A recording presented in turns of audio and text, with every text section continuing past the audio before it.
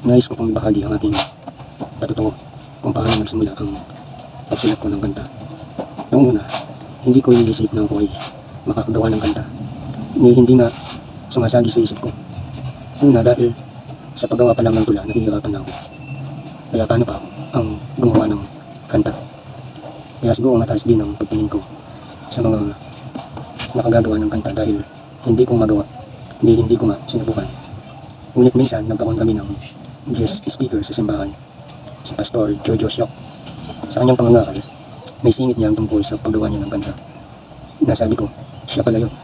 Dahil nabusesan ko siya at alam ko rin ang kanyang mga awit at narinig na sa radyo. Ilang segundo lang na nabanggit niya yun.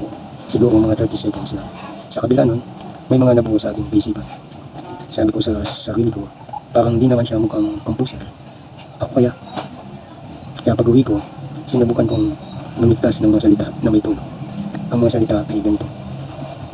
Pag-ibig ni Jesus, ang subukan mo. At nasabi ko sa sarili ko, parang pwede. Tapos sinubukan ko pa, ganito naman ang pangalawa. Pag-ibig ni Jesus, ang hanapin mo. Nasabi ko ulit ang pwede.